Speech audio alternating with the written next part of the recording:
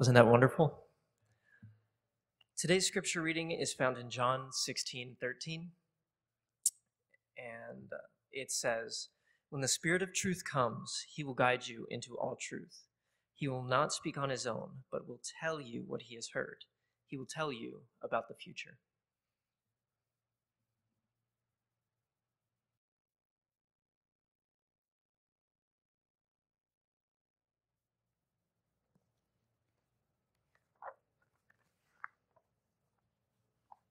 Good morning and happy Sabbath. I've got to be careful I don't mix my sermon with the music, because if I start singing, it's going to be scary.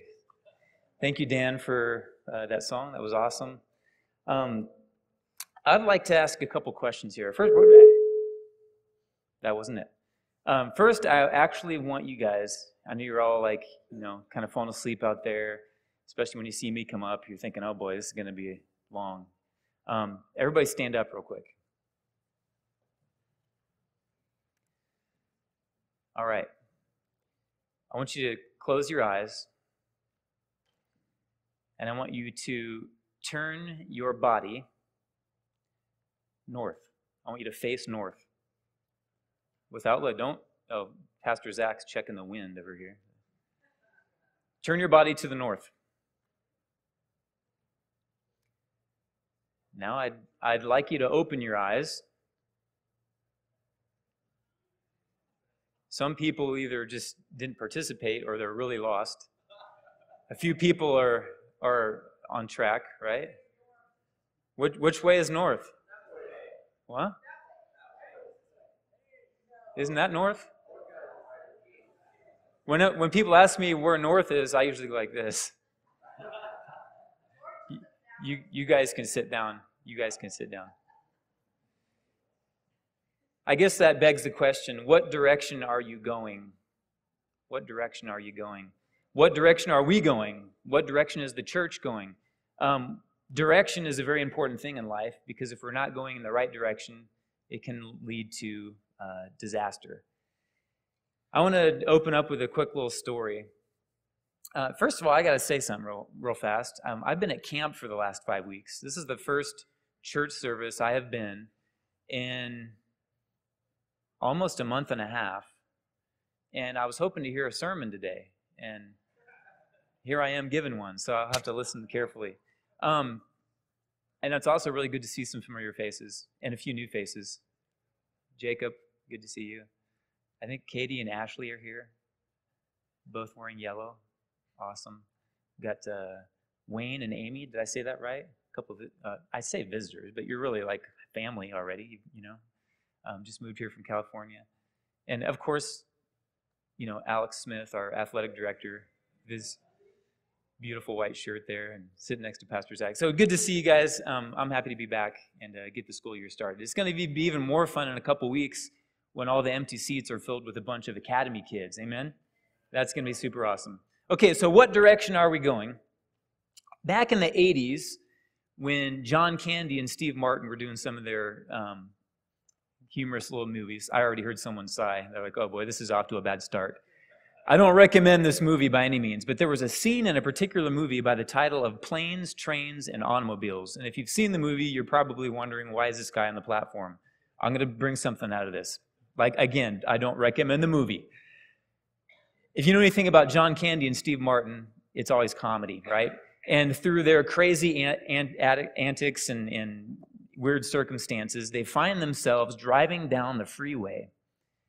And through a course of odd events, they are on the wrong side of the road, okay? They are on, let's say, for instance, um, westbound I 70, except they're driving east, okay? So they're driving east on westbound 70. I don't know what highway it was. We'll just say that. And uh, lo and behold, they come up and there is a family across the median on eastbound 70 going the correct direction. Now, if you're driving along eastbound 70 and you look across the median at the traffic that's supposed to be going opposite direction and you see a car driving parallel to you, you're going to freak out well, that happened. They're driving along, and this is his family, and uh, they talk. What, what in the world's going on here? They roll their window down and they're waving their arms out the window, yelling and screaming and pointing at the car. And of course, they're telling him, You're going the wrong direction. And I can't remember which one was it, whether it was John Candy or Steve Martin, but they roll their window down and they look out and they, they're thinking, What on earth are these crazy people doing? and they hear, You're going the wrong direction. And they're all saying that in unison with desperate looks on their face. You're going the wrong direction. They're yelling out the car window. And John Candy looks over at Steve Martin. He says, How do they know where we're going? He rolls the window up and he starts doing little gestures like, you know, eh, eh, a little tipsy, and, and they're the ones going the wrong direction. Don't we find ourselves in that situation from time to time? When we're going the wrong direction, and we think everyone else is crazy. Well, like I said, I don't recommend the movie, but that was a funny thing that stuck in my mind from when I saw that years back. We can we can't find uh, we can find a lot of I'm sorry, yeah. We can find ways to find our way in life through scripture, right? Now, uh, John uh, 16, 13, our Bible text for today, it says, However, when He, the Spirit of truth, has come, He will guide you into all truth.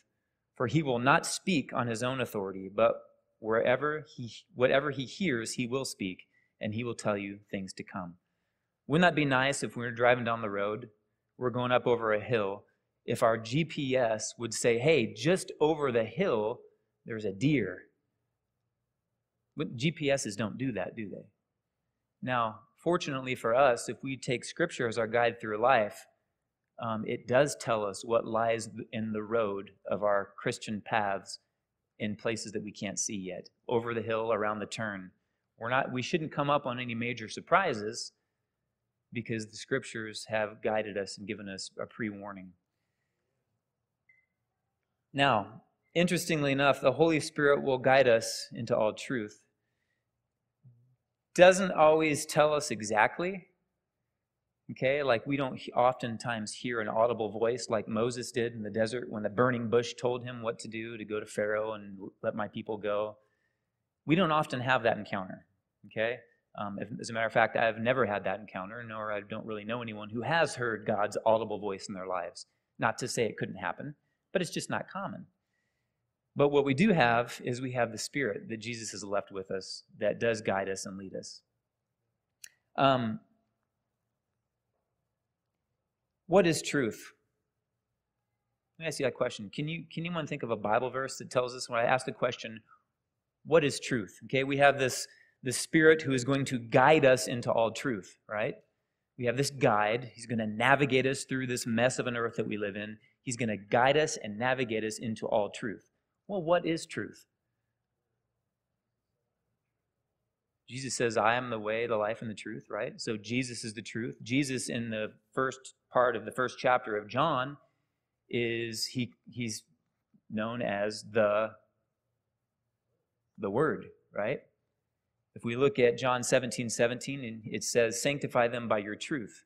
Your word is truth. Right? So we have this guide this navigating system that we want to, we could call the Holy Spirit, I guess in this case, guiding us through this life, leading us into all truth. Now, I have an uncanny ability to get lost.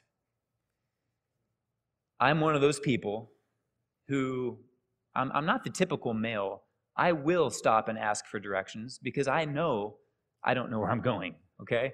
You know, you have some of the, some people, the stereotypical man will, I know where I'm going, I'm not asking for directions, and they're 75 miles in the wrong direction before the wife finally convinces them, stop and ask for directions, right? Um, nowadays, we have GPSs that help us avoid that. But I literally can pull off the freeway up to a gas station, fill the tank up, get back in my car, and have no remembrance on where I have come from or where I'm going. Some people are like, What? I inherited it from my dad. I blame him. But my wife just, when she, we're at the point now, after almost, well, it'll be 25 years of marriage here real soon. We're at the point now where when I pull into a gas station, she will make me look at something, okay, where are you coming from? You know, she'll, she'll kind of prompt me along to help trigger my uh, subconscious into really, you know, knowing where I am and where I'm going. I need that. So thank you, honey, for doing that. It's, it's saved us a lot of gas and a lot of extra time on the road. But I don't know why. I, I just have this weird thing. Now, of course, we have our phones, that have GPSs on them, and I, I, I rely on that heavily, which is kind of a bad thing. Um, you know, it's, it's, just, it's just crazy. Um, and one of the things that really just gets under my skin, and this happens to me because I'm directionally challenged, and I'm also not a very techie person. And uh, so a lot of times I'll have my GPS and I'll, I'll go off to get gas or something, and, and my wife won't be with me. I'll be by myself. And my GPS starts talking to me. Proceed to the route. Proceed, or it says route. It says, do you say route or route? I don't know. Proceed to the route. Proceed to the route. I'm thinking, what way is the route? I don't know where I'm going. How do I know where to proceed to if you don't tell me where to go? Um, because I'm at one fixed point and I there's four roads from that fixed point, and I'm like, which direction does lead me to the route? Um, so thankfully, God's word isn't like that. It doesn't always tell us exactly what to do, like I said with Moses and the burning bush. But it does help us make choices based on what the word says and common sense, which I'm proving to you that I lack a little bit. Little word, little uh, Bible verse for us. Isaiah 119, 105 says, Your word is a lamp to my feet and a light to my path.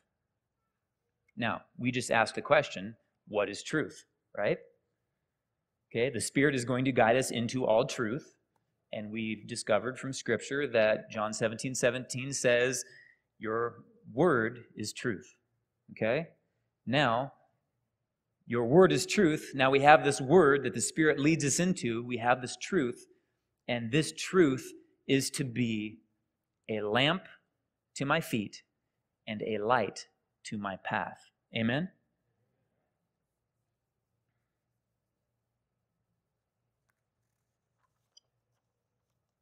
You know, when we read the scriptures,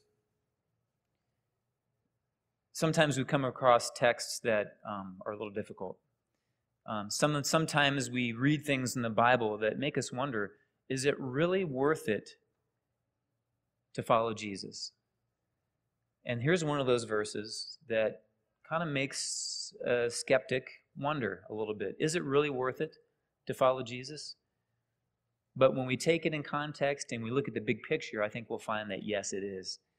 And this verse comes from 2 Timothy 3, verses 1 through 5. If you're familiar with this, you know where I'm going. It says, But know this, that in the last days perilous times will come.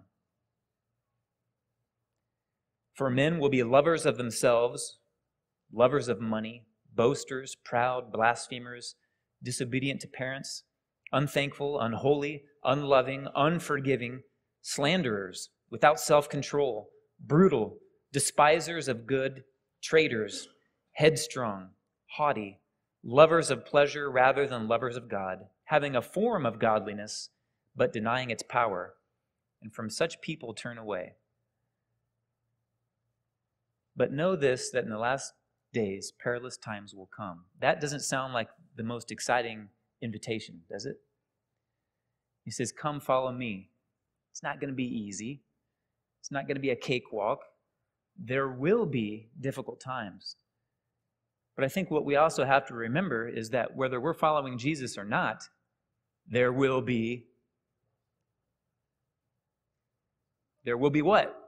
Difficult times, right? If you're following Jesus, there will be difficult times. If you're not following Jesus, there will be difficult times. So I guess that leads us into making a decision. Do we want to go through those difficult times alone, relying on ourselves, falling on our face with no one to help us up? Or do we want the King of the universe by our side to scoop us up, put our nose back to the line, and like any good coach, give us a slap on the butt and tell us to get back in the game? Amen? I want to read something that I, I read in a book here earlier this summer. Um, Donald Whitney shares a little bit about the Pony Express um, in his book, Spiritual Disciplines for the Christian Life. It's been gone since 1861, yet people still recognize the name. The Pony Express was a private, a private express company that carried mail by an organized relay of horseback riders across a series of 184 stations. The eastern end was St. Joseph, Missouri, and the western terminal was in Sacramento, California. The cost of sending a half ounce letter by Pony Express varied from 25 to 125 in today's dollars, depending upon when during the lifespan of the service it was sent. If the horses held out and the weather and the Indians held off, that letter would complete the nearly 2,000 mile journey in a speedy eight to 10 days, as did the report of Lincoln's inaugural address. It may surprise you that the Pony Express was in operation only from April 3, 1860 until November 18, 1861. Just 19 months when the telegraph line was completed between the two cities, the horseback service was no longer needed. Being a writer for the Pony Express was a tough job. You were expected to cover 75 to 100 miles a day, riding hard day and night, changing horses every 10 to 15 miles. Other than the mail, you carried little else besides a revolver and a knife. In order to travel light, and to increase speed, the mobi- uh, I'm sorry, and to increase speed and mobility during Indian attacks, the men rode in short sleeves whenever possible, sometimes even during the fierce winter weather. How would you recruit volunteers for this hazardous job? Notice they said volunteers. Bolivar Roberts, superintendent for the western end of the express, is said to have placed this ad in a San Francisco newspaper in March 1860. Wanted young, skinny, wiry fellows not over 18 years old must be expert riders willing to risk death daily. Orphans preferred. Those were the honest facts of the service required, but the Pony Express never suffered a shortage of riders. What an invitation, huh? Young, skinny, wiry fellows, not over 18 years old, orphans preferred, right? Wow, I want to go to that birthday party. That's, uh, that's a little disheartening, right? Yet they never had a shortage of volunteers. I don't know whether they just were thrill seekers. You know, they didn't have Mountain Dew back then, so they had to thrill seek some other way, right? Um, but they, they signed up for this, and they did literally risk their lives on a daily basis. And I'm sure some of them probably lost their lives as well, sacrificing comfort, safety, in order to get mail from one side of the country to the other. How much more important is it, is it for us to saddle up and get on that straight and narrow path that God has set out for us, right? Yeah, we know that in the last days, perilous times will come. We have the list of messed up social and moral issues that arise in the last days. But God will navigate us through that and lead us out to his eternal kingdom in the end. Amen. A couple encouraging verses that kind of help us to uh, accept this call. And uh, one comes from Deuteronomy, Deuteronomy 31 6, and it, it encourages us. It says, Be strong and of good courage. Do not fear nor be afraid of them, for the Lord your God, He is the one who goes with you. He will not leave you nor forsake you. Another one, and this is actually, I believe, one of Pastor Zach's go tos. I've heard him say this verse many times. So, P. Zach, I got you on this one, bro. It's from Proverbs 3 5 and 6. Is that like one of your memory verses? It says, Trust in the Lord with all your heart and lean not on your own understanding. In all your ways acknowledge him and he shall direct your paths. Okay? My GPS might fail from time to time, but if he, with a capital H, is directing my paths, I know I'm on the right course. Even when it seems I'm in the midst of perilous times and I'm going through hell on earth, I know that the Holy Spirit will guide me through and that Jesus Christ is, is there and he's giving us strength. So, some encouraging verses. One other, this is one of my favorite verses. Um, it's uh, John 14, 26 and 27. It says, But the Helper, the Holy Spirit, whom the Father will send in my name, he will teach you all things and bring to your remembrance all things that I said to you. Peace I leave with you, my peace I give you. Not as the world gives, do I give it to you. Let not your heart be troubled, neither let it be afraid. Do not fear. Let your heart not be afraid. Do you know the most, uh, the, the one command that God gives more than any other in the entire scriptures is do not fear, do not be afraid. He commands us to stand strong and do not fear. That's, that's encouraging. Um, it's encouraging because there are a lot of fearful things that take place in this world. But we know that, like we've, we've already learned, that God is, is by our side and He will guide us through. One other verse here I want to share with you. And uh, this one I think we had on our refrigerator for a while. I don't know where we had that still magnet, but it's from Isaiah 40, 28 and 31. And it says, Have you not known? Have you not heard? The everlasting God, the Lord, the creator of the ends of the earth, neither faints nor is weary. His understanding is unsearchable. He gives power to the weak, and to those who have no might, he increases strength. Even the youths shall faint and be weary, and the young men shall utterly fall. But those who wait on the Lord shall renew their strength. They shall mount up with wings like eagles. They shall run and not be weary. They shall walk and not faint. Am I really going in the direction that God wants me to go? Have I trusted Him to lead me and guide me? Will I allow Him to turn me onto that straight and narrow path that leads to eternal life? Am I going in the general right direction? But maybe I haven't given my all to God. Maybe I'm just holding on to some little thing that is hindering my course, just by a little bit. Maybe, maybe just one degree off. Generally, I'm going in the right direction, but I'm not honed in, and I'm one degree off. Well, I found this. I've heard this before and I found this. I thought it interesting. It says, You've heard that if a plane, uh, if an airplane pilot makes the slightest one degree error in his flight path, after traveling one mile, he'll be off course by 92 feet. Doesn't sound that bad. After traveling 60 miles, that error adds up to being about a mile off course. For instance, if she were traveling, this airplane pilot, from New York City to Los Angeles, a one degree shift could put her in not Los Angeles, but in Irvine, California, about 40 miles to the south.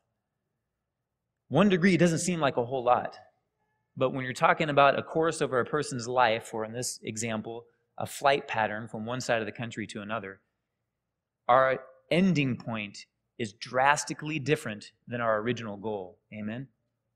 It is important that we stay connected. We have that GPS turned on because, hey, I hate to say it, friends, we will get knocked off course a little bit here and there. Okay?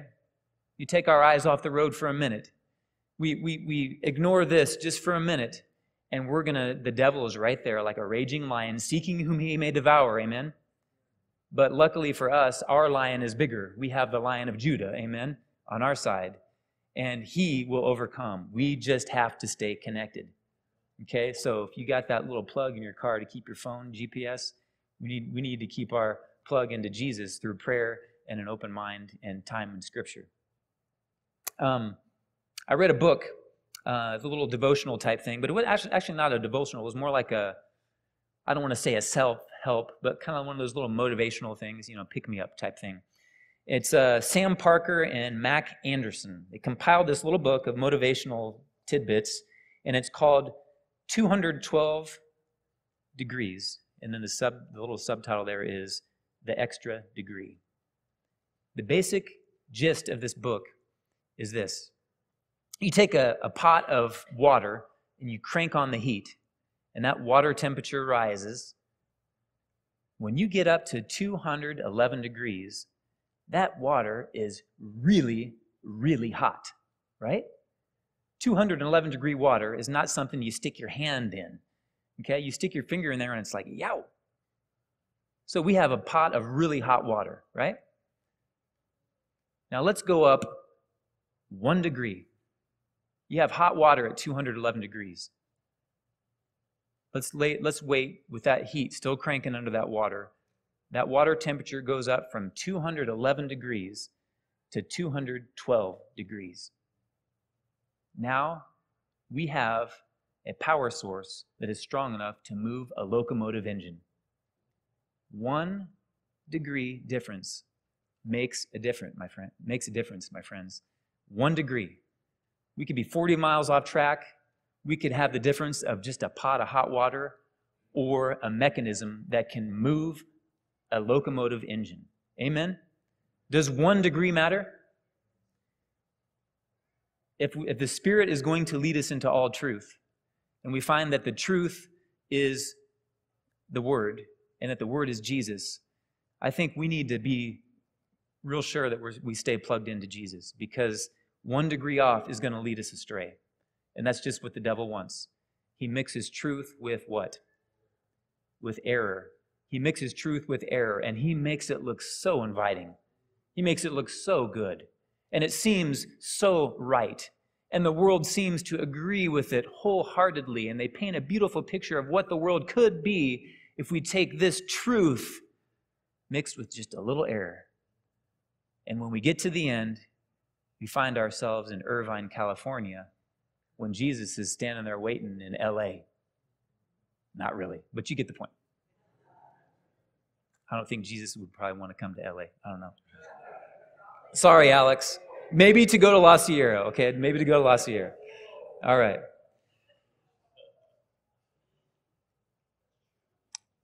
Am I trusting my GPS?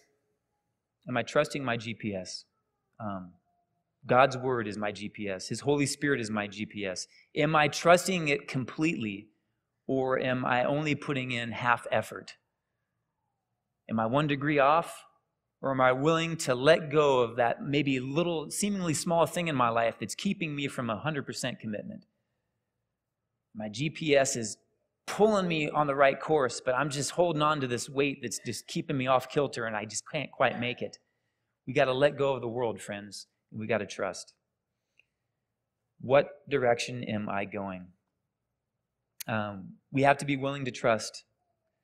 We need to follow it completely. And the good thing is that we, when we do get off course, and we might from time to time, when we have God as our GPS, He will redirect our paths. Instead of that irritating voice that says, proceed to the route, we'll have God's word, and He will lead us and guide us back to the root. Amen. Let's bow our heads. Father, we thank you for being our direction. We thank you for being our God. We thank you for loving us. Lord, I just want to ask that you guide us and lead us in all that we do. Help us to give 100% because we know that even that will fall short. Um, but we're thankful and we're hopeful that our 100% will meet you and that all the gaps that we are surely going to have will be filled by your Holy Spirit and by your word, by the blood of Jesus Christ who died to fill those gaps. Um, we thank you for that. We're looking forward to seeing you, and we ask that you'll help us to be prepared, help us, guide us, and lead us. And we're so thankful that you are so much better than a GPS. In Jesus' name we pray. Amen.